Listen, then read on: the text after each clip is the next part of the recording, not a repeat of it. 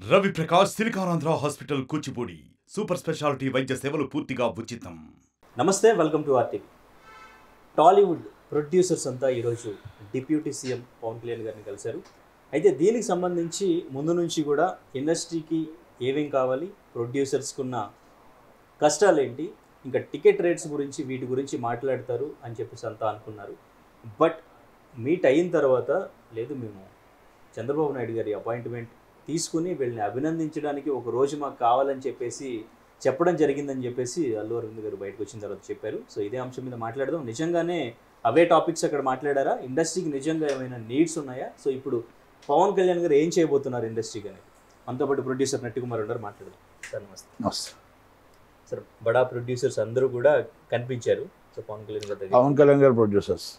పవన్ కళ్యాణ్ గారు ప్రొడ్యూసర్స్. వాళ్ళంతా? పవన్ కళ్యాణ్ గారు ప్రొడ్యూసర్స్ అందరూ పవన్ కళ్యాణ్ ప్రొడ్యూసర్స్ అరవింద్ గారు కూడా. ఇంక్లూడింగ్ ఓకే ఇప్పుడు మేన బావగారు బావగారు ఇంకెవరు బయట వాళ్ళు ఎక్కడ ఉన్నారు ఇంకెవరు లేరు. అందరూ పవన్ కళ్యాణ్ ప్రొడ్యూసర్సే ఏం. రత్నం గారు బావగారు ప్రసాద్ నుంచి మన బావగారు ప్రసాద్ గారి దగ్గర నుంచి ఎన్వి ప్రసాద్ దగ్గర నుంచి అందరూ కలిపి. ఛాంబర్ కౌన్సిల్ ఎవరు వెళ్ళలేదు. అంటే దానికి ప్రొసీజర్ ఉంటుంది. ఏం లేదు. అంటే గత ప్రభుత్వానికి వచ్చేటప్పటికి వీళ్ళందరూ ఆ ప్రభుత్వం ఉన్నంత వరకు భయంతో ఉన్నారు. పవన్ కళ్యాణ్ గారిని కలడానికి కూడా దొంగచాటును ముసుకేసుకుని కలిశారు. ఇది వాస్తవంగా నేను చెప్తున్నా. ఒప్పుకోక తప్పదు అంటే భయం. పవన్ జగన్మోహన్ రెడ్డి అంటే భయంతో బతికారు. ఉమ్, ఈ రోజు ధైర్యంగా ఒక చార్టర్ ఫ్లైట్ వేసుకొని ఎస్ మా నాయకుడు గెలిచాడు అని చెప్పేసి అభినందన తెలపడం కోసం వెళ్ళారు. మంచి పరిణామం ఇది. ఇది నేను కాదని చెప్పాను మంచి రోజులు వచ్చాయి. అరవింద్ గారు కూడా వెళ్ళడం అనేది మంచి పరిణామం. అక్కడ సురేష్ బాబు గారు వెళ్ళడం మంచి పరిణామం. అదే సురేష్ బాబు గారు ఆర్ యూ చంద్రబాబు అని అడిగారు. మాకేం సంబంధం చంద్రబాబు గారితో? అన్నాడు. మేము సినిమా వాళ్ళమే అన్నాడు. కానీ మేము అడిగింది ఒక్కటే. మంచికో చెడుకో మీరందరూ కూడా చంద్రబాబు దగ్గర ఏదో ఒక లాభం పొందినవారే. మిమ్మల్ని అభిమానించేవారే కాబట్టి ఆ రోజు కష్టాల్లో ఉండేటప్పుడు మనం సపోర్ట్గా ఉంటే బాగుంటుంది అని అడిగాం. సుఖంలో ఉండేటప్పుడు చుట్టం వస్తాడంట సుఖంలో కష్టాల్లో ఉండేటప్పుడు సుఖంలో కష్టాల్లో ఉండేటప్పుడు అంటే మనకు ఆదుకునేవాడిని దేవుడు అంటామంట దేవుడా నువ్వు కష్టంలో నన్ను ఆదుకున్నావు అంటామంట కష్టాల్లో లేనివాడు సుఖంలో వచ్చేందుకు మమ్మల్ని దోచుకోవడానికి వస్తారా? దాచుకోవడానికి వస్తారా? కాదు కదా. అందుకనే ఇప్పుడు వీళ్ళందరూ వెళ్ళడం అనేది మంచి పరిణామం. పవన్ కళ్యాణ్ గారిని కలడం అభినందించడం. కానీ వాళ్ళందరూ ఎవరిష్టం వాళ్ళు వెళ్ళారు. ఇప్పుడు మాకు నా డౌట్ ఏంటంటే రాత్రి నేను ఏడు గంటలకు కూడా ఫీట్ చేయడానికి కారణం ఏంటంటే యాక్చువల్గా కౌన్సిల్ని అంటే మొత్తం నేనంతా కూడా ట్రోలింగ్ అంతా కూడా కౌన్సిల్ నుంచి ఛాంబర్ నుంచి వచ్చి కౌన్సిల్ జాయింట్ సెక్రటరీ నేను. నాకు తెలియకుండా ఎక్స్ చైర్మన్ ప్రొడ్యూసర్ సెక్టార్ నాకు తెలియకుండా ఎవరికి తెలియకుండా మా బాధలు మాకు ఉంటాయి చిన్న సినిమా నిర్మాతల బాధలు నిర్మాతలకు ఉంటాయి. మామూలుగా మాకు ఒక ఎగ్జిబ్యూటర్గా మా బాధలు ఉన్నాయి. ఒక డిస్ట్రిబ్యూటర్గా మా బాధలు ఉన్నాయి. అలాగే పెద్దవాళ్ళ బాధలు ఉన్నాయి. అందరూ కలిపి వినిపించాలి? ఒక మెమోరాండం ఉంటుంది దానికి ఒక ఒక ప్రొసీజర్ ఉంటుంది ఒక పద్ధతి ఉంటుంది ఇవన్నీ ఉంటాయి. మేము మీటింగ్ పెట్టుకుంటాం ఫస్ట్ ఆ మీటింగ్లో అన్ని ఓకే చేసుకుంటాం. మళ్ళీ అపాయింట్మెంట్ తీసుకుంటాం. దానికి ముప్పై మంది చెప్తాం ఫస్ట్ ముప్పై మంది తర్వాత లాస్ట్కి మా వాళ్ళే చిన్న డ్రామా ప్లే చేస్తారు. ఫ్లైట్ సరిపోవట్లేదు. మాతో టోటల్గా సీఎం గారు సెక్యూరిటీ రీజన్కి తొమ్మిది మందిని రమ్మన్నారు అంటారు ఎనిమిది మంది రమ్మన్నారంటే. లేదా పవన్ కళ్యాణ్ గారు ఆరుగురిని రమ్మన్నారు ఎవరిని రావద్దు అన్నారంటారు వీళ్ళు కావాలని వీళ్ళు కట్ చేసి రాలేని చెప్పరు. ఇక్కడున్న మాకున్న జంట కవులు ఉన్నారు కదా కొంతమంది మా ఛాంబర్లో. మాకున్న బ- బ్యాచ్ ఉంటుంది అది. ఆ బ్యాచ్ అంతా ఎవరిని ఎలా కట్ చేయాలి? ఎవరైనా ఎలా కట్ చేయాలని కట్టుకుంటే. అంటే చిన్నవాడు పక్కన కూర్చోవడానికి కూడా అసహించే క్యాండిడేట్స్ ఉన్నారు కొంతమంది. చిన్న నిర్మాత పక్కన కూర్చోవడానికి కూడా అసహించే ఉంది. పది లక్షలు పది ఇరవై లక్షలు పెట్టి ఫ్లైట్ వేసుకుని వెళ్తారు. ఒక పేదవాడికి ఇన్సూరెన్స్ ఇమ్మంటే మాత్రం ఇవ్వరు. ఎలక్షన్స్ కోట్లు ఖర్చు పెడతారు. ఒక పేదవాడికి ఒక ఐదు లక్షల రూపాయలు ఇన్సూరెన్స్కి సహాయం చేయమంటే చేయరు. అది డబ్బు ఎవరితో తెలిసిన ఈ సినీ నిర్మాతలదే. ఈ సినిమా నిర్మాతలు గిల్ట్లో నుంచి వచ్చిన డబ్బుని ఈ విధంగా ఎంజాయ్ చేస్తారు తప్ప ఆ పేదవాడు నిజంగా నిర్మాత కష్టపడే నిర్మాతకు మాత్రం ఒక ఐదు లక్షలు కూడా ఇవ్వరు. అయినా మా నిర్మాతలో సిగ్గురాదు మా నిర్మాతలు మళ్ళీ వాళ్ళకే ఓటేస్తారు. మా నిర్మాతలు వాళ్ళకే ఓటేస్తారు. జిందాబాద్ జిందాబాద్ దిల్ రాజు గారు జిందాబాద్. కానీ ఎందుకు జిందాబాద్ కొట్టావు? నీకు ఇన్సూరెన్స్ ఇవ్వనందుకు జిందాబాద్ కొట్టావా? వాళ్ళు చార్టర్ ఫ్లైట్లు వెళ్తున్నప్పుడు కూడా బాధ లేదు. కాకపోతే ఏంటంటే మనం ఫస్ట్ మనం చెప్పేటప్పుడు అది చేసి ఉంటుంటే ఇది ఉండకపోను. అలాగే అభినందించడానికి ఇంతమంది వెళ్ళారు. అభిమానం కంపల్సరీ ఉంటుంది మంచి రోజులు వచ్చాయి ఆంధ్రప్రదేశ్కి. మనం కూడా త్వరలోనే ఛాంబర్ కౌన్సిల్ మీటింగ్ పెట్టి ఇందాక అరవింద్ గారు మంచి మాట్లాడారు ఛాంబర్ కౌన్సిల్ మీటింగ్ పెట్టి అన్నీ కూడా ఒక మెమోరాండం మొత్తం టోటల్గా అన్నీ రాసుకొని ఏమేం కావాలో ఎవరెవరికి ఏం కావాలో అందరూ కలుసుకొని వెళ్తాం. అప్పుడు కలుపుకొని అందరూ వెళ్ళేటప్పుడు ఎవరు ఫస్ట్ ఇస్ ప్రోటోకాల్? సీఎం గారు. Second protocol? పవన్ కళ్యాణ్ గారు. Third protocol? లోకేష్ గారు. Is fourth protocol? Kandula Durgesh గారు. ఇది కంపల్సరీ ఈ ప్రొసీజర్ పాటించాలి? ఛాంబరు కౌన్సిల్ ఏ త్రూ అయినా ఛాంబర్ కౌన్సిల్ నుంచి వెళ్ళాలా? ఛాంబర్ కౌన్సిల్ కౌన్సిల్ నుంచి రావాలి? ఒకవేళ ఏమైనా సరే వనరులు వచ్చినా లేకపోతే మా నాయకుడు చిరంజీవి గారు. మా నాయకుడు చిరంజీవి గారే. చిరంజీవి గారి ఆధ్వర్యంలోనే వెళ్తాం. మేము దాసనారాయణరావు గారు చనిపోయిన తర్వాత చిరంజీవి గారే మా నాయకుడు అనుకున్నాం. చిరంజీవి గారే కష్టాల్లో మాకు ఆదుకుంటాడు అనుకున్నాం. చిరంజీవి గారే మాకు ఈ ఇండస్ట్రీకి ఏమైనా ఇబ్బందులు ఉంటే చేస్తారు అనుకున్నాం మా కోసం గత గవర్నమెంట్లో అవమానపడ్డాడు కూడా బాధపడ్డాడు కూడా కష్టపడ్డాడు కూడా కానీ సినిమా ఇండస్ట్రీ కోసం నిలబడ్డాడు. కరోనా కోసం నిలబడ్డాడు. కనుక అలాంటి వ్యక్తి ఇండస్ట్రీ కోసం ఉండాలి. కనుక ఆయన ఆధ్వర్యంలో ఆయనతో డిస్కస్ చేసి ఆయన తీసుకొని వెళ్తాం. ఓకే. ఎవరి దగ్గరికైనా. ఇది అంటే ఇలాగ వెళ్ళాం. ఇలాగ చార్టర్డ్ ఫ్లైట్లో ఉండవు ఆయన్ని తీసుకొని అందరిని కలిపి కూర్చోబెట్టి ఆయనతో మాట్లాడి మా చిన్నోళ్ళకి పెద్దోళ్ళకి న్యాయం జరిగే విధంగానే వెళ్తాం. ఇప్పుడు ఇండస్ట్రీకి సంబంధించి ఉన్న ప్రొడ్యూసర్స్ ఉన్న కష్టాలు కానివ్వండి లేదంటే రాయితీలు టికెట్ రేట్స్ వీటి గురించి అయితే అసలు కాదని చెప్తున్నారు. No sir ticket rate is common అండి అది. టికెట్ రేట్ కోసం పెద్ద ఇష్యూ కాదు అది. నాట్ ఓన్లీ ఇష్యూ అది ఆల్రెడీ ఇస్ రెగ్యులర్ ప్రాసెస్ అది.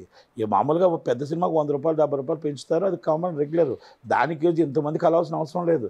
Is the regular home secretary letter పెడతాం ఎఫ్డీసీ లెటర్ పెడతాం ఎఫ్డీసీ నుంచి హోమ్ సెక్రటరీ లెటర్ పెడతాం హోమ్ సెక్రటరీని cinematography minister and chief secretary immediately and GO passed is the regular procedure అది.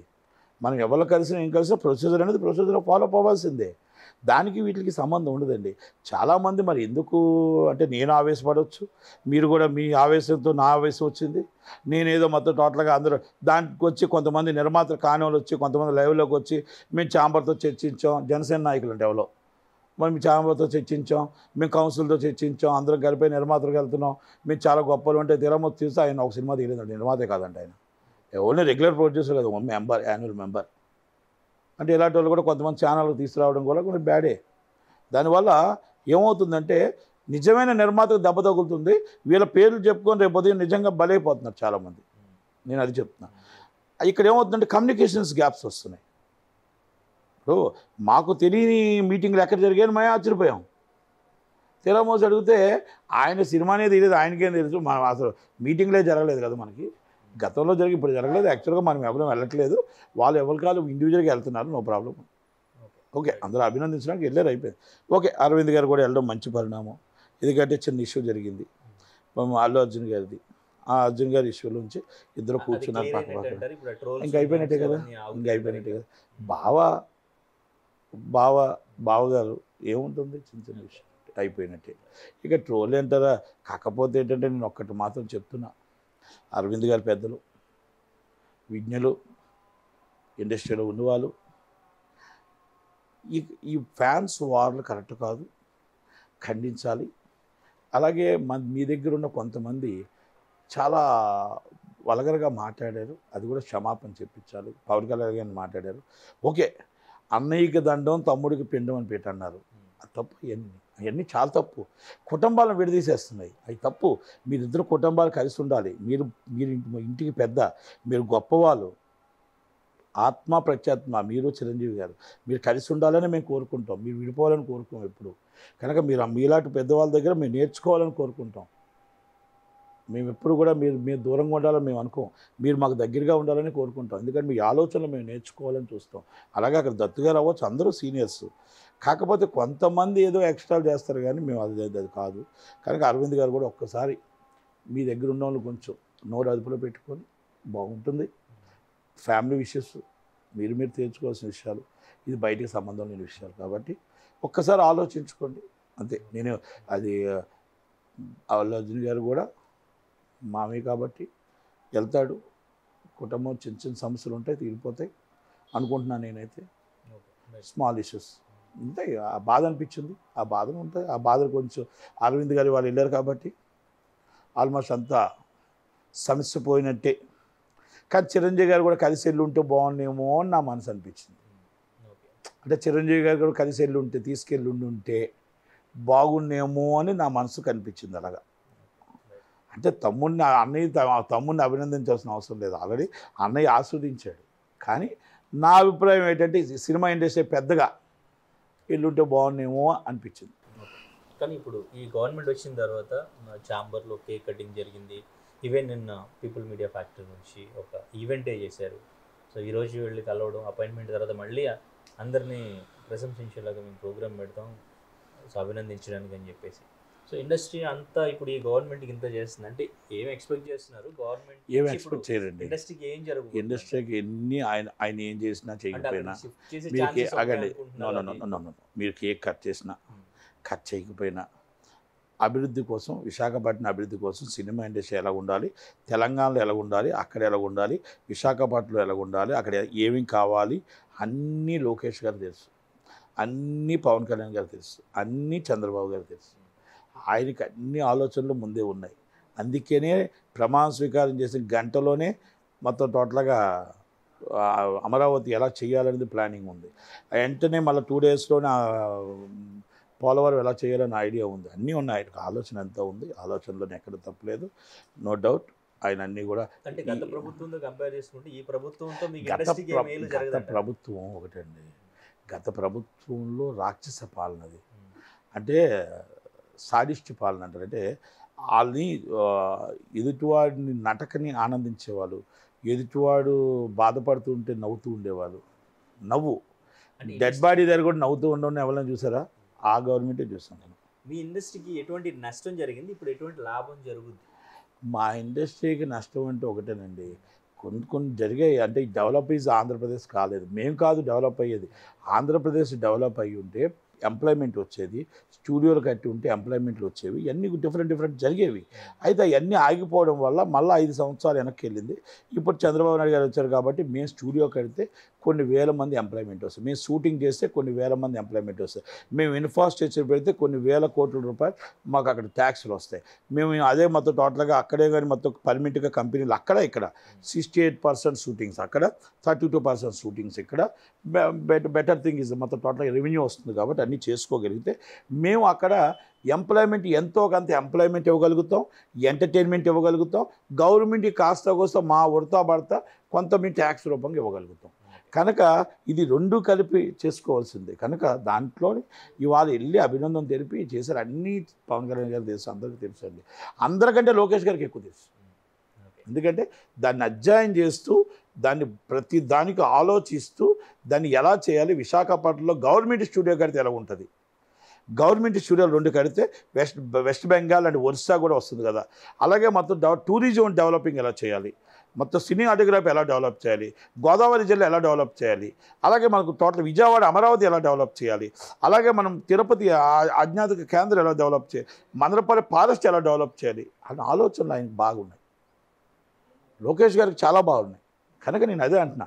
లోకేష్ గారు ఇప్పుడు ఏంటంటే ఈజ్ ద లైఫ్ అండి. అంటే పార్టీకి రేపు రేపు ఫ్యూచర్గా చంద్రబాబు గారి తర్వాత రేపు ఉదయం అంతా టోటల్గా అంతా నడి నడి- నడిపించేది నడిచేది ఈజ్ ద లోకేష్ గారు. ఓకే.